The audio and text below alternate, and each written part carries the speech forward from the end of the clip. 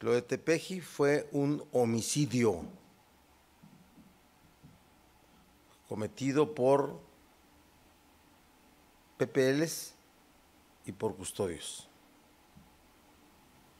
Y ya está todo encausado legalmente. ¿De acuerdo? Lo asumimos así. Por eso el relevo también de los directivos del reclusorio.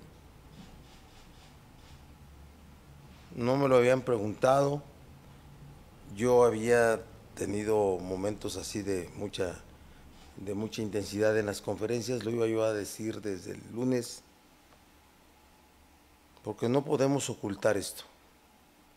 A las cosas por su nombre. Y hay que reconocer esto que ocurrió en un centro de reclusión. Fue homicidio.